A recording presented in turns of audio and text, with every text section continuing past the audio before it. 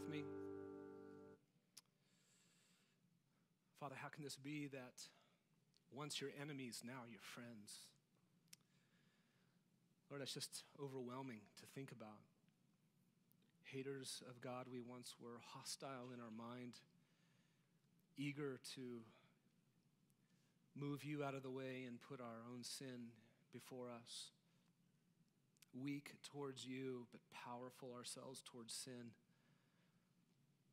And now everything has changed because of Jesus, because of his death in our place, because of his shed blood for us, because of justification by faith alone, because of being reconciled to you.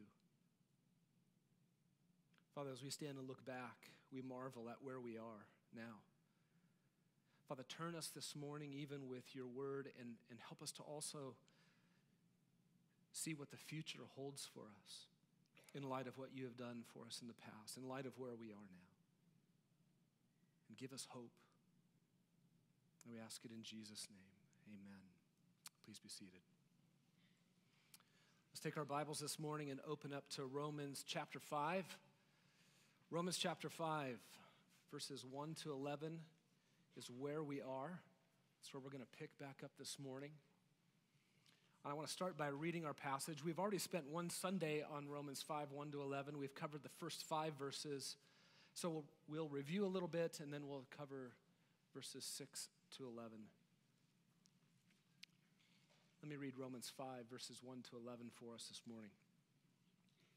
Paul says, Therefore, having been justified by faith, we have peace with God through our Lord Jesus Christ, through whom also we have obtained our introduction by faith into this grace in which we stand.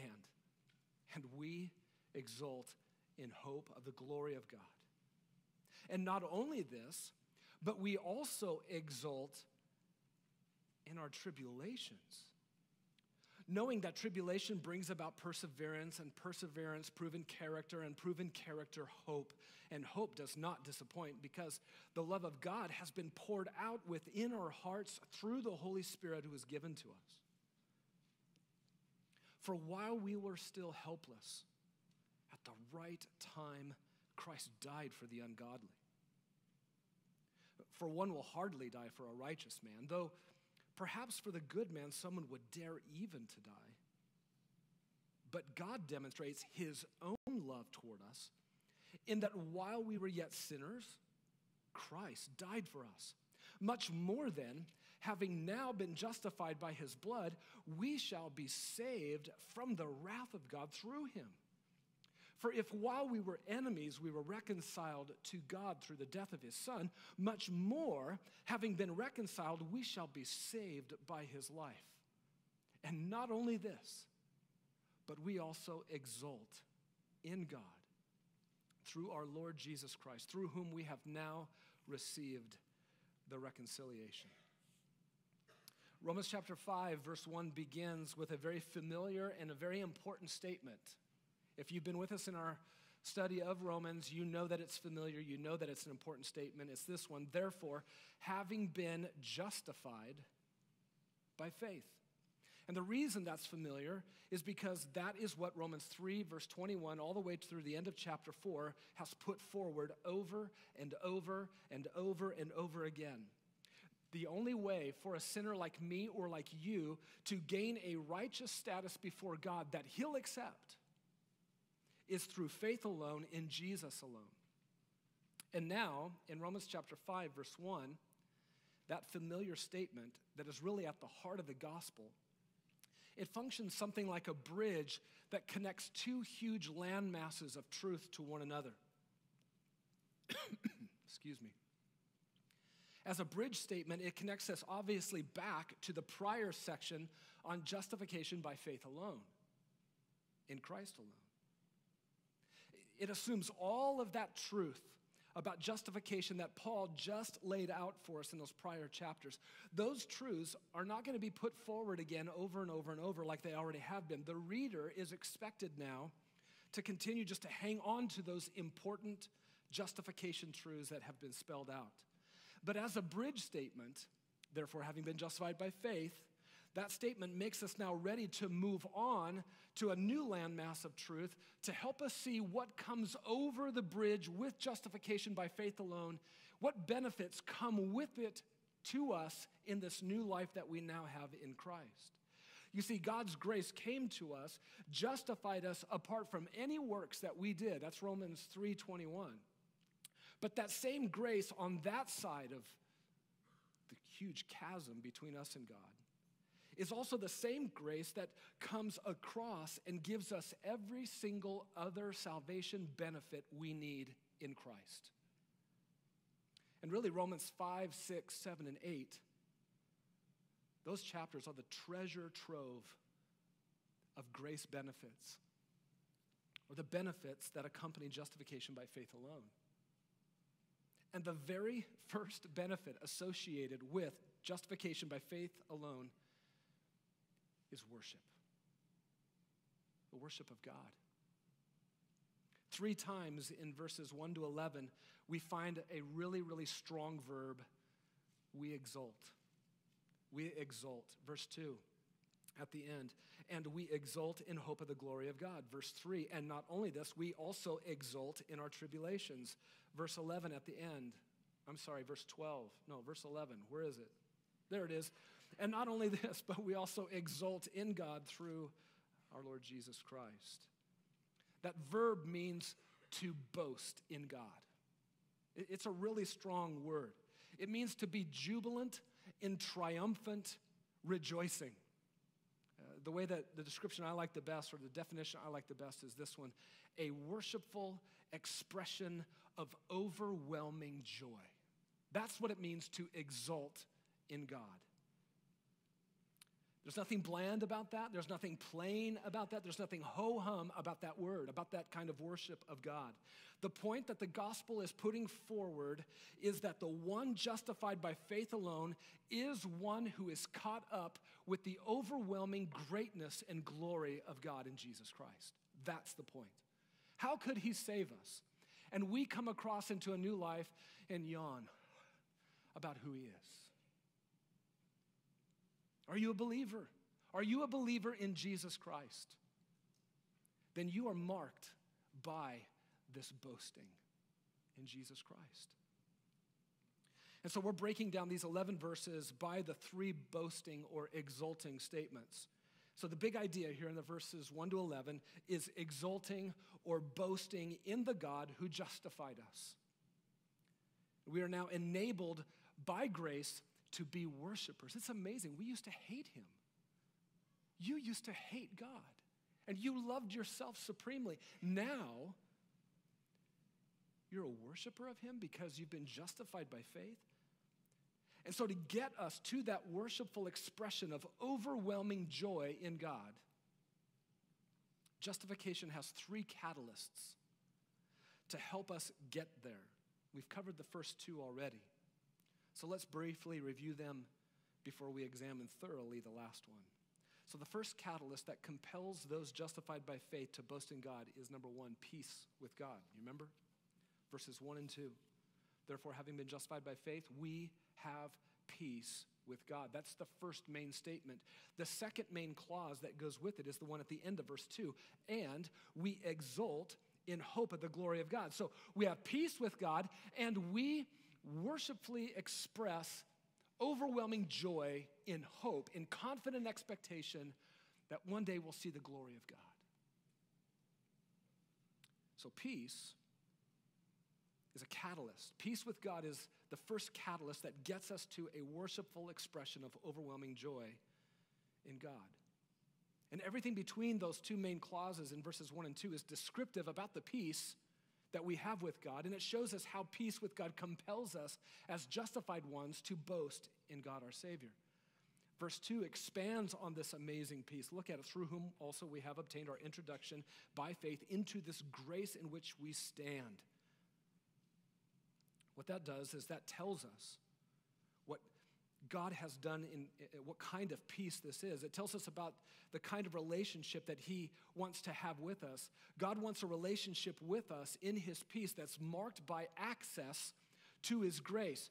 So get this God acquitted us, God pardoned us for sure. He gave to us his own righteousness through faith in Jesus Christ. He did that, but then he didn't keep us at arm's length and say, Yeah, but just kind of give me some space. He doesn't do that. What verse 2 says is that we have the door to God's grace thrown wide open before us.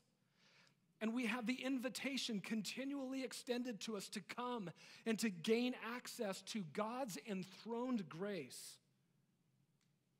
God wants those who have believed Him to come near and to enter into deeper apprehensions, deeper comprehensions of His grace in which we now stand firmly. That's an amazing peace that we have with God. So, peace with God acts like a catalyst that leads us to worshipfully express overwhelming joy in confident expectation that one day we will see the radiant, impressive, weighty, overwhelming glory of God. That is what we long for. We exchanged the glory of God for, for empty images before. That's what we did. We didn't want anything about his weightiness, his impressiveness, his splendor. But we've been changed. And we long to see it. We have this confident expectation that we will see the God of glory. What an amazing benefit for us. We, from those who hated God to those who boast in him. Having been justified by faith, we have become overwhelmingly uh, joyful worshipers of the God who saved us. But then Paul shocks us with the second catalyst. Do you remember? The second catalyst that compels those justified by faith to boast in God is number two, tribulations in life. Verse three, and not only this, but we also exult in our tribulations. You see what Paul did there? Paul so easily substituted out hope. He substituted out confident expectation with our tribulations, as if they're the same thing, as if they can almost accomplish the same thing. How can this be? I mean, we get the first statement I want to exult in hope of the glory of God. I get that. I don't want to exult in my tribulations, and neither do you. How can this be? The only way we would be able to similarly boast in our tribulations in life, like we boast in confident expectation of one day seeing the glory of God, is if our tribulations somehow get us to that same hope. And that is exactly the point in verse 3. And not only this, but we exult in our tribulations, knowing this. We know this about the tribulation design of God knowing that tribulation brings about perseverance, and perseverance brings about proven character, and proven character brings about what? That same hope, that same confident expectation. And that hope will not disappoint us. That hope will not disgrace us as we come through difficult trials. Why? Verse 5 because the love of God has been poured out within our hearts through the Holy Spirit who is given to us. We will not be disappointed in this hope because all throughout the tribulations that we experienced as believers in Jesus Christ in this world that hates us, throughout all of the sweating and throughout all of the perseverance, throughout all of the growth in maturity of having our character be refined over and over and over, God, throughout all of that, is lavishing his love for you, believer, on you, believer, in your heart through the Holy Spirit that He gave to you. And your confident expectation in all of that is trained, it is focused like a laser beam on that glory of God that you hope to see someday. Your tribulation didn't destroy your hope, and your tribulations will not destroy your worship of God. Tribulations from God in this life will refine your hope deepen your worship of Him.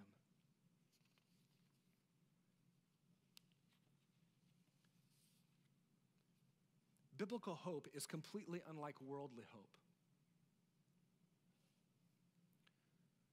Some of you said, I hope the Yankees make it to the World Series. Worldly hope is laced with doubt. It just is. And so when an unbeliever thinks of hope, and tribulations, if they ever think of them in the same sentence, if they ever use those two words in the same sentence, what they say is something like this I hope tribulations never come. But the believer who knows God's design for tribulations, if you are a believer in Jesus Christ and you know what God does with tribulations, you put hope and tribulation together in the same sentence this kind of way Tribulations help me hope in God. They do. I'm not crazy about it all the time, but that's the truth. That's what happens. So, peace with God is a catalyst compelling those justified by faith to boast in God. But so also are our tribulations. They are a catalyst compelling us to boast in God. Now, let's consider this morning the third and the final catalyst that compels the justified believer to worshipfully express overwhelming joy in God. The third catalyst, number three, is reconciliation through Christ.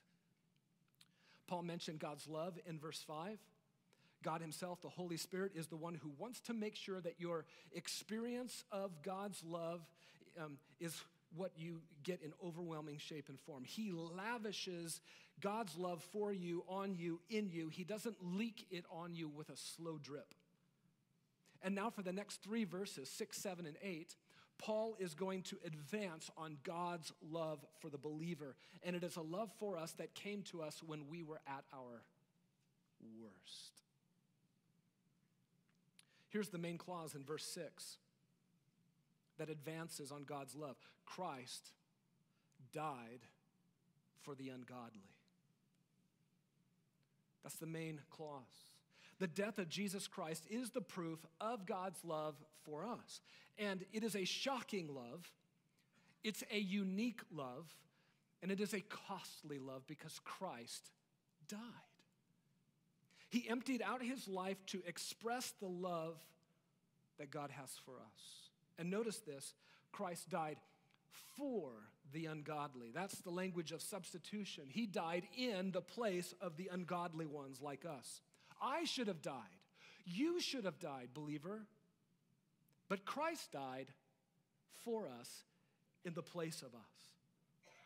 So God's love in Christ's death was for the ungodly, meaning the, the totally unrighteous. And now that sounds very similar to Romans chapter 4, verse 5. Just look back maybe a page in your Bible. But to the one who does not work, but believes in him who justifies the ungodly, his faith is credited as righteousness. Look at that amazing statement. He justifies the ungodly. God is the one who declares the ungodly righteous through faith. Remember, God doesn't declare the one who's reforming himself, he doesn't declare that one righteous. God doesn't declare righteous the one who's trying to reinvent himself. Rather, the grace of God in the gospel just comes and says, I know you're ungodly. In your ungodliness, believe my son. And to the one who does not work, but believes in him who justifies the ungodly, his faith is credited as righteousness. And similarly, in chapter 5, verse 6, Christ did not die for the one who is trying to reform his life or trying to re- reinvent her life. He didn't even die because he said, you know what, I can see that some potential is going to come, so I'm going to go ahead and, and I'll go ahead and die now because I can see some potential coming.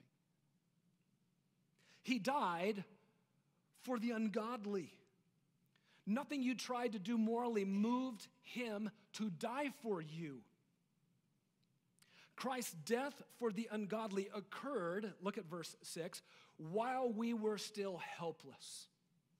That word helpless needs to be properly understood. It means spiritually weak, morally weak. It's not a physical weakness. It is morally, spiritually powerless. It is morally, spiritual, incapable of changing we were helpless to change our hatred of God. Romans 1:30. We were helpless to stop suppressing the truth of God. We were helpless to overcome our sin. We were helpless to change God's wrath against us. We were helpless to bring ourselves to God. We were helpless in every way possible toward God. We were powerful in every way towards our sin. No helplessness there. complete helplessness towards God. And so notice this list of descriptions that is beginning describing us. To be helpless, verse 6, is to be ungodly. Two blunt descriptions of what we once were. And while we were helpless and while we were ungodly, Christ died in our place. But notice also, Christ died for the ungodly, verse 6, at the right time. There should be no doubt in your mind about the timing of what God did at the cross. Christ's death for ungodly ones didn't arrive too early. God didn't panic and go, oh, I'll hit the button now. And He also wasn't late to the game. It happened exactly when it was supposed to happen. At the proper time, He died for the ungodly. So, being what we were, helpless, being what we were as ungodly, that's the right time for a substitute to die. And Paul now contrasts God's love with the extent of man's love. Verse 7 For one will hardly die for a righteous man. So, among men, among mankind, it is a rare, unusual, infrequent, scarce thing to see one man die for somebody else, someone else even marked by righteous conduct. Paul continues, verse 7 though perhaps for the good man someone would, someone would dare even to die.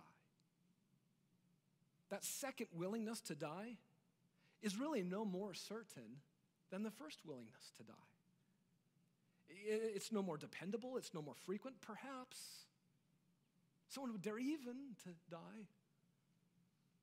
And that rare, scarce, infrequent, uncertain, unusual willingness to die will only occur for someone, when it does occur, who's worthy, righteous, or good by our estimations. What's the point? Here's the point. When it comes to sacrificing ourselves for another, we humans look for any other possible solution first. So we do. And even then, when we choose to do the unusual, die for somebody else, we look for ones worthy of it, righteous, good. We, when we absolutely have to, we might, perhaps, we might die for one worthy of the sacrifice. We're looking for the motive outside of us in them. And if God loved us like that, he would have never sent his son in the first place. What God, in contrast, did is completely unexpected. It's completely unheard of. The way that he loved us does not exist among men. God's love in Christ's death for us goes immeasurably beyond the reaches of human love and sacrifice, verse 8. But God, demonstrates his own love. Listen, that's the contrast. He doesn't say, but God demonstrates the common way that we all love, including God. He doesn't lump God's love in with ours. No, but God, in contrast, loves us with his own love in a completely different way. He demonstrates it for us in that while we were yet sinners, Christ died for us. And Christ's death for us, which is the ultimate expression of, of God's love, for us found absolutely no motive in you or in me to come about. Because it was while we were yet sinners, verse 8. While we were yet sinners. And that's the third description of us in this growing list. Being sinners, that means we were wholly given up to and over to our sin. We aimed to live in our sin. We aimed to please ourselves in our sin with anything sinful and everything sinful that was outside of God. It, it's the uh, classic idea of missing the mark.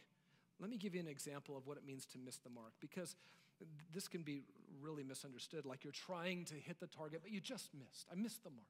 That's not what's going on here. Let me show you in Romans chapter 1, verse 23, what it means to miss the mark. Turn back with me. Romans 1, verse 23. We exchanged the glory of the incorruptible God for an image in the form of corruptible man. That's missing the mark.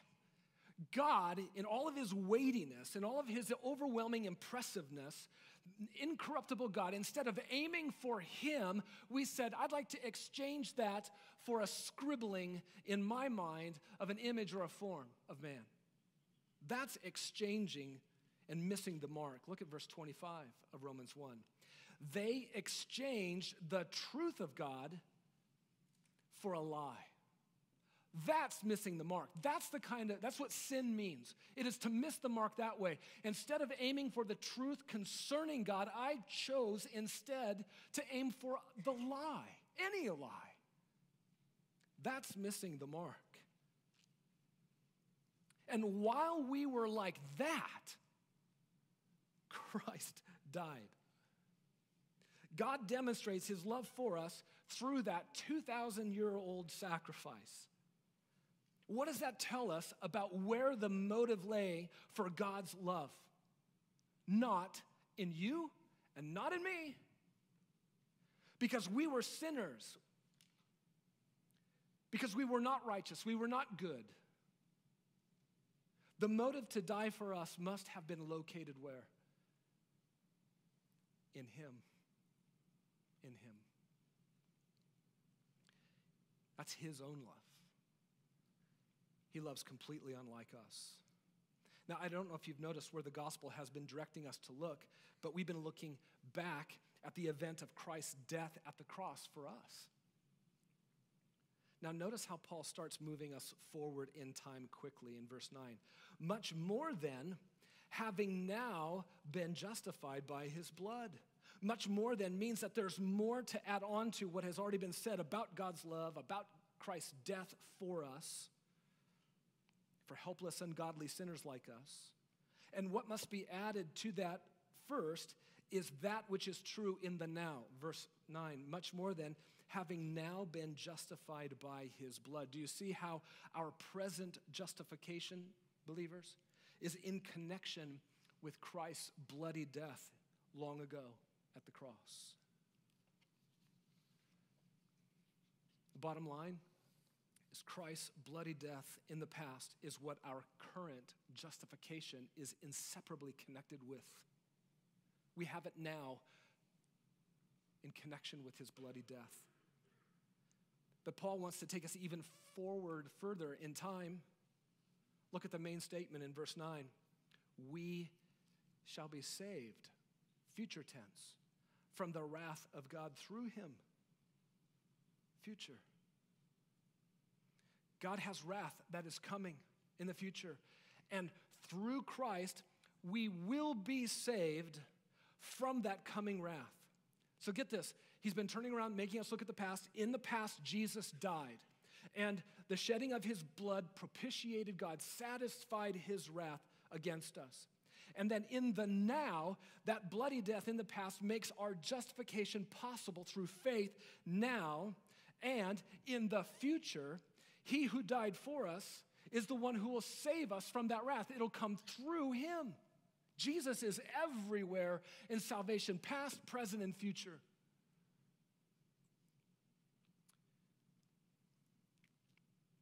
Let me take you back to Romans chapter 2, verse 5, just to remind you about this wrath that has already been mentioned. Look at this Romans chapter 2, verse 5. But because of your stubbornness and unrepentant heart, you are storing up wrath for yourself in the day of wrath, in the day of revelation of the righteous judgment of God. He will render to each person according to his own deeds. Look at verse 8. To those who are selfishly ambitious and do not obey the truth but obey unrighteousness, wrath and indignation for them. Verse 9 tribulation and distress for every soul of man who does evil. Doesn't matter if you're a Jew or Greek. Look down at verse 16. On the day when, according to my gospel, God will judge the secrets of men through Christ Jesus. There is a day coming full of God's wrath. In verse 9 of chapter 5, turn back there with me. tells us that our justification has this other really wonderful benefit for us. That on the day of wrath, on that day when Jesus judges every man, for those who believe, well, having now been justified by his blood, we shall be saved from the wrath of God through him. And here is the much more than point that's being made in verse 9. If while we were helpless, if while we were ungodly, if while we were yet sinners, his bloody death made our justification possible now, much more then will he save us from the wrath of God that's coming. If while we were sinners, he died for you and he died for me, Will he allow us to fall under the coming wrath of God? The answer is absolutely no. We shall be kept safe on that day through Jesus, having been justified by his blood, his bloody death. And verse 10 expands on this, on this much more reality for those who believe. It is again the argument from the what is in the beginning more difficult to what is later less difficult. Look at verse 10. For if while we were enemies, we were reconciled to God through the death of his son, much more, having been reconciled, we shall be saved by his life. Future tense.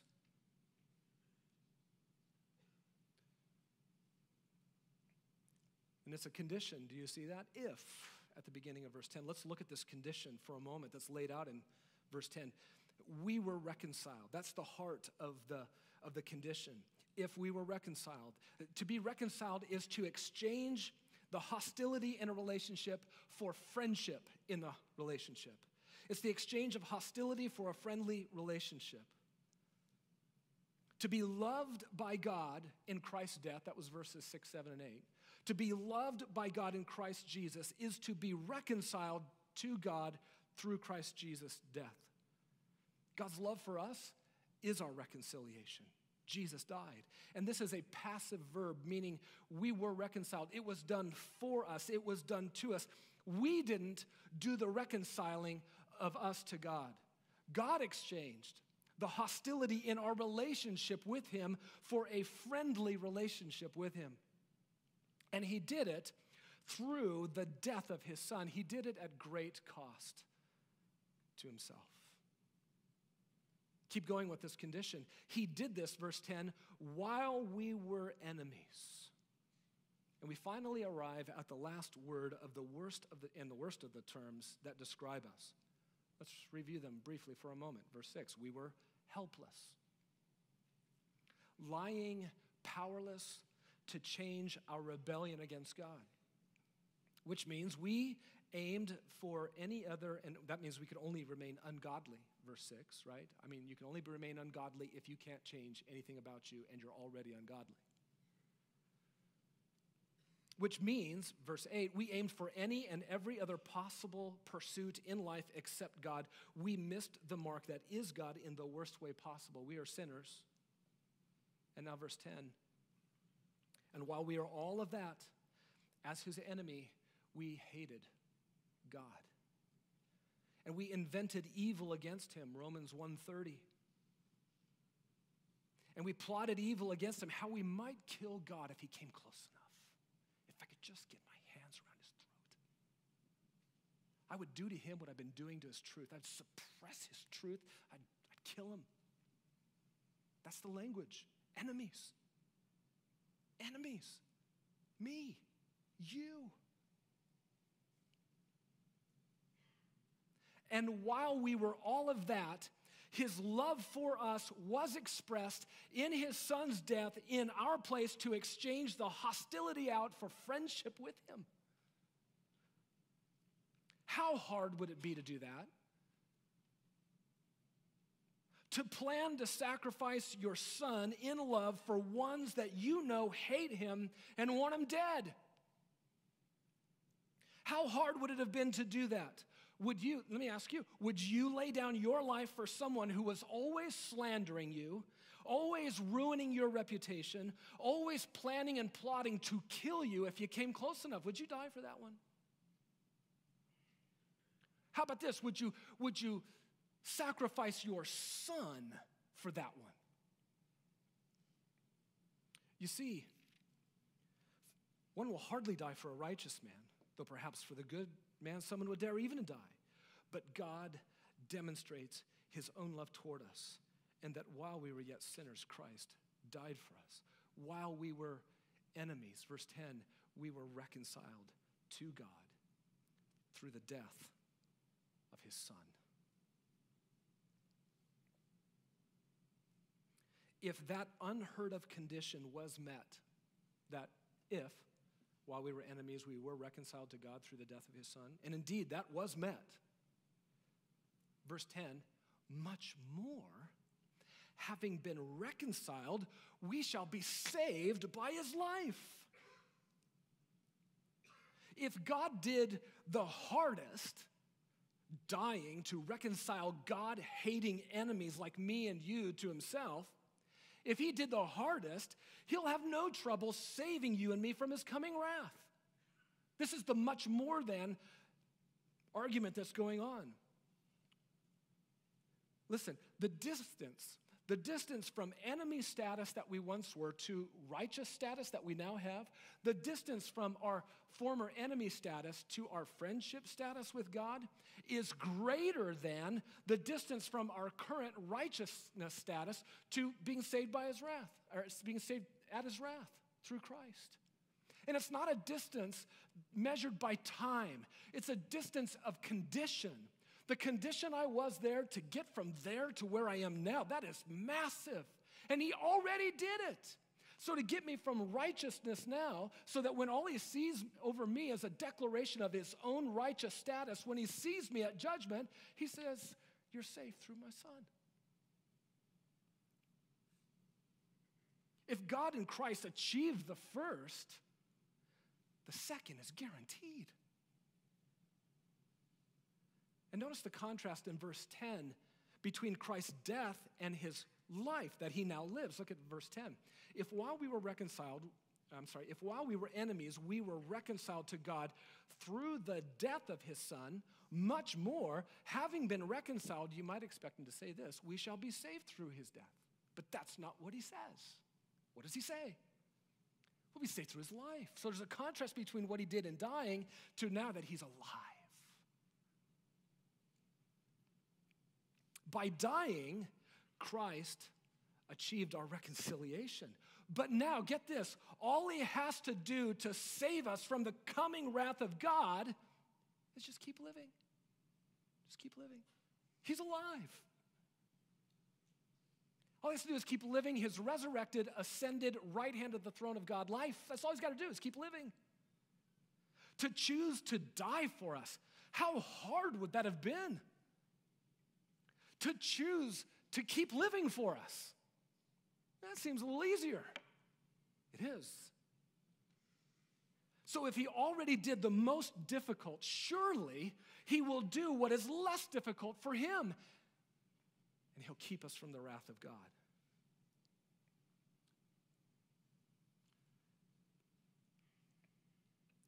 Believer, why? Why do we tremble times? Wondering about whether God will really see us through. Why do we tremble sometimes wondering if if God will remain faithful to his promises to us, why do we wonder if and tremble, will he sustain me through my tribulations? Why do we wonder if he'll sustain us through and on my deathbed?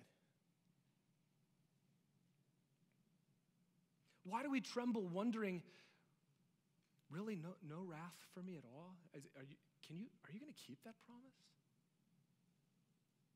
The truth is, from God's perspective, laid out here in Romans 5 6 to 10, is this that for the one justified by faith, there is no reason to tremble in uncertainty about God, about God's commitment to us. These are the statements of fact to be believed, to cling to. We shall be saved from the wrath of God. We shall be saved by his life.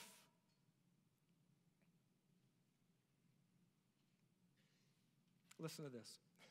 If he reconciled his enemy to himself, will he not keep his friend to the end? That's the idea. If he reconciled his enemy to himself, will he not keep his friend all the way to the end? Do you realize, believer, that from God's perspective, we're, we're being given God's perspective in Romans 5. You have no reason to be uncertain about that coming day of wrath. It doesn't make you cocky, it makes you worship. You have no reason to be uncertain about his coming day of wrath. Your justification by faith, that is in connection with Jesus' bloody death, is your security for the day of wrath that's coming. The church has failed to talk about this coming wrath of God. And by church, I mean believers in general. We just don't talk about this. It's coming. God has appointed a day in which he will judge the world through a man. And the man that he did, he proved which man it is. It's the man he raised from the dead. Acts 17. It's coming.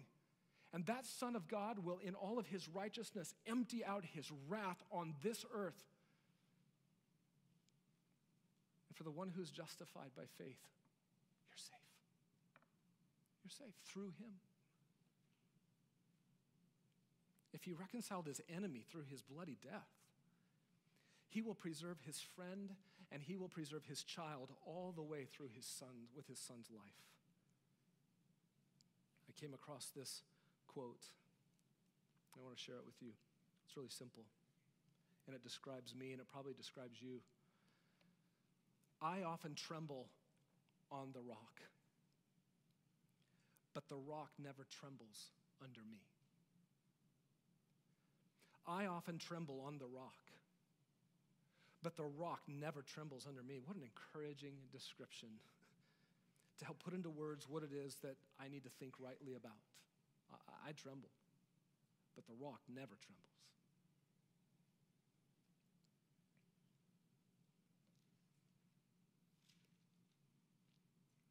Tremble wondering how God could keep us all the way to the end when, when I keep sinning against Him. How, how can He do that? Here's God's certainty for His heartbroken disheartened, faint hearted, anxious children. God could say to us and is saying to us through a passage like this if I reconciled my enemy to me and made him my friend, I'll keep my friend to the end. By dying, my son reconciled you. By living at my right hand, he'll keep you safe all the way. He had to die to achieve the first of your salvation. Now, all he has to do to finish it is keep living. That's all he's got to do. All right, so let me give you the four step process, four step process by which your salvation will ultimately falter and fail at the coming wrath of God. Okay, four step process. I know you're a little shocked right now, but write these down. Number one, here's a four step process of how your salvation will falter on the day of wrath. Number one, ascend into heaven where Christ is, seated at the right hand of the Father. Write it down. Number one, that's what I have to do. I have to ascend into heaven to the right hand of the Father where the, where the Son is. Number two, step in between the Father and the Son to seize the Son, to get your hands on him. Number two, are you writing this down? Number three, drag the Son back down to the dust of the earth. Number three, drag him back down to the dust of the earth and finally, number four, slay him. Take his resurrected, ascended life away from him. Do to him what the Roman soldiers could not do. Do for him what the grave could not do. Do to him what Pilate could not do to him. Do what the religious leadership of the temple could not do to him. And kill him and keep him dead. Because if you can do that, you will falter at the day of salvation because everything else he did for you prior to that counts for nothing. Sorry, I was trying to trick you a little bit. It's absolutely absurd. It's absolutely absurd. Just turn a couple pages to the right. Romans 8, 32. He who did not spare his own son, but delivered him over for us all, how will he not also with him freely give us all things? Who? Who will bring a charge against God's elect? God is the one who justifies. Who is the one who condemns?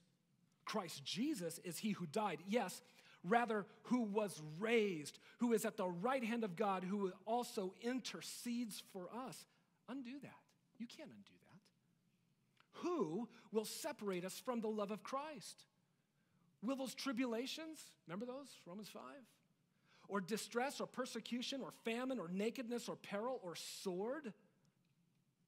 Just as it is written, for your sake we are being put to death all day long. We were considered as sheep to be slaughtered. But in all these things we overwhelmingly conquer through him who loved us. For I am convinced that neither death, nor life, nor angels, nor principalities, nor things present, nor things to come, nor powers, nor height, nor depth, nor any other creative thing will be able to separate us from the love of God which is in Christ Jesus our Lord. Back to Romans 5, verse 11.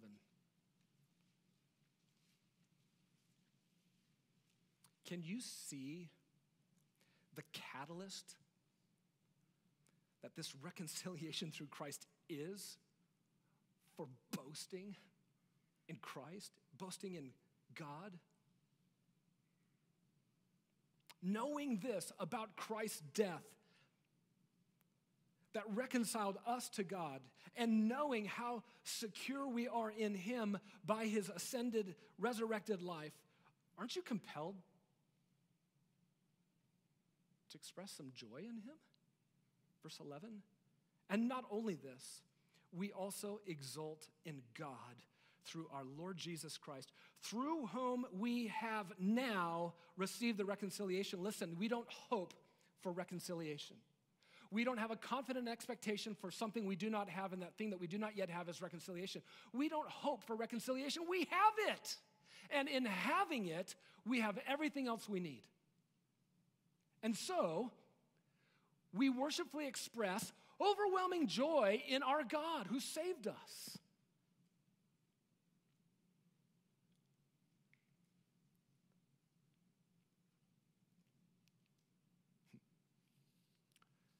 So you can see there's really no reason to tremble.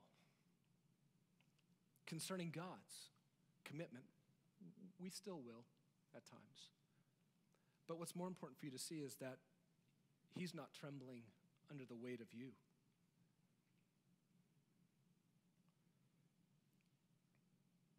There's no reason to tremble concerning God and His promises towards you. There's no reason to tremble. There's reason to worshipfully express overwhelming joy in Him. And listen, trembling and boasting in God are very difficult things to coexist at the same time in your life. So when trembling comes, you now have your go to passage. You come back to Romans 5 1 to 11, and you just let those truths wash over your heart and your mind. You shepherd your heart to the Word of God to see the God of the Word and what He does for us. And what will happen is the catalysts that are connected to justification by faith will raise up your worship of Him and not a bland, ho hum, boring worship, but you will find yourself becoming one who wants to worshipfully express an overwhelming joy in God. And as that happens and worship and boasting rises in your life, trembling will go away. And that's what you get to fight for every day for the rest of your life. In heaven, you won't have to fight for it anymore. One endless, worshipful expression of overwhelming joy in Jesus Christ. But today, you get a fight. That's what He saved you to. And that is a much better condition than what you were. As a helpless, ungodly, sinful enemy of God.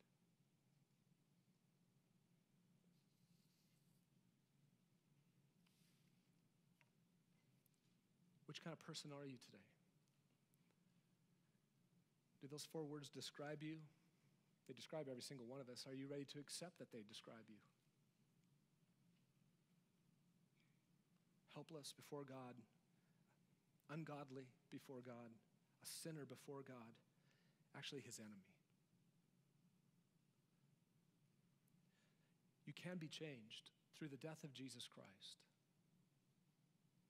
Everything will change. Your past, acquitted, pardoned. Your present, you stand with a, a declaration of righteousness over you that God, every time He sees it, He rejoices in it. That's my righteousness. You've got it. I gave it to you. You didn't earn it. You trusted my son, and you got it. And your future, secure, because Christ lives to intercede for you. Has that happened for you yet today? Let's pray.